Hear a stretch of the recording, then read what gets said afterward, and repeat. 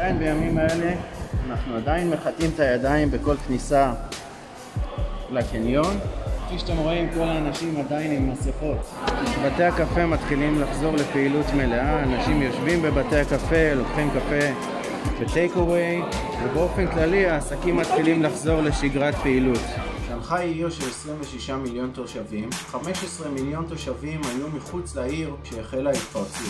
אחד הפחדים הגדולים שליוו אותנו בתחילת ההתפרצות זה מה יקרה כאשר 15 מיליון איש יחזרו חזרה לעיר. אני שמח להגיד שזה לא קרה וההתפרצות כאן לא הייתה גדולה. ולמעשה הגענו למקסימום של כמעט 400 אה, חולים בעיר מתוך אוכלוסייה של 26 מיליון.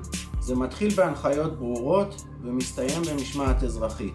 ראשית נתבקשנו לא לצאת מהבתים, אלא אם כן זה לצורך רכישת מצרכים חיוניים, תרופות או טיפול רפואי. אנשים שהיו בנסיעות או היו בקשר עם אנשים ממוהן נכנסו לבידוד מלא. באוכלוסיית שנגחאי אכן נשמעה להוראות, אנשים לא יצאו מהבתים ומרבית העסקים היו סגורים. עכשיו אנחנו הולכים להיכנס למטרו. תראו שעדיין בזמנים האלה בודקים את הטמפרטורת גוף שלנו. אם הטמפרטורה גבוהה כמובן שלא ייתנו לי להיכנס. ותראו מכאן בשנגחאי.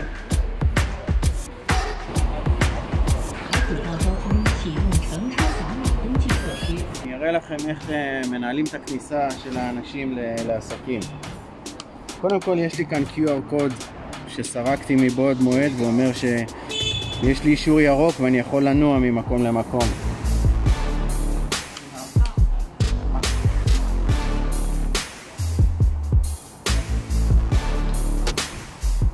או, שכחתי לנקות את הידיים. בתחילת חודש מרץ התקדמנו לאפליקציה.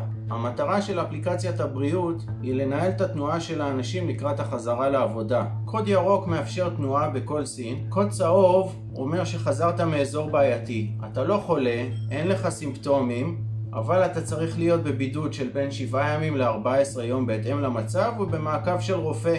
קוד אדום אומר שחזרת ממקום מאוד מאוד בעייתי ואתה בסיכון, או לחילופין יש לך סימפטומים כאלה ואחרים. במצב הזה האדם נכנס לבידוד מלא בדירה, ומנהלת המתחם תספק לו את כל הצרכים שהוא צריך, בין אם זה אוכל, תרופות וכיוצא בזה, עד לדלת הבית.